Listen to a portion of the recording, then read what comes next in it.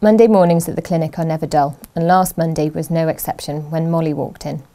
Molly is a 15 month old Shih Tzu who's been in labour for 24 hours. Yesterday afternoon, she produced two stillborn pups and one live one, but unfortunately, this pup was too weak to make it through the night. Her owners have brought her in this morning, as since this pup, she's made no further attempts to push and hasn't been able to settle overnight. On arriving at the clinic, Molly was quickly examined and then her birth canal was checked to make sure that she didn't have any puppies obstructing um, the way out. This was nice and open, so we then moved towards scanning her to check whether she still had pups that were yet unborn. The scan showed that she had numerous live puppies that weren't too distressed. We checked this by looking at their fetal heart rate on the scan and comparing it to Molly's. So all of the unborn puppies were all okay. The only issue was that Molly wasn't pushing them out. She was given a couple of injections to try and stimulate her uterus to contract. These injections take a little while to work, but 20 minutes later she started becoming unsettled and started trying to make a nest.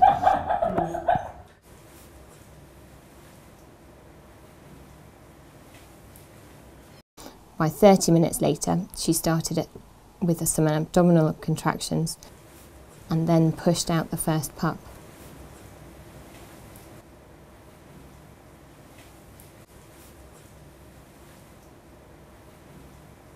The pup was born within the sac, so the sac was broken so it could breathe and then was stimulated to breathe by rubbing it and putting drops in its mouth.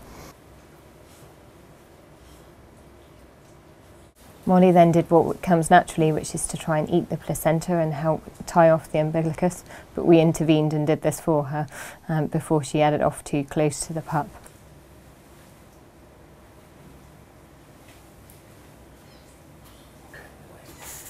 Pup was then dried and rubbed to try and stimulate its breathing. It still was making good respiratory efforts but needed a lot of stimulation as it was very weak. Molly then went on to have three more pups, all of which were a little bit slow to start but eventually started to breathe really well on their own. Initially, Molly wasn't so keen on her new arrivals and motherhood wasn't coming easy. However, with a little bit of encouragement, she let us latch them on so they could then take their first meal. And she settled down really well with them and looked like the job was done. We always confirm that there are no more pups by scanning, and to everybody's surprise, a fifth pup was seen on the scan. Molly was then given some more injections as previously, but this time they seemed to be less effective. After 30 minutes, there was growing concern about Molly becoming more tired and also the heart rate of the pup starting to slow down.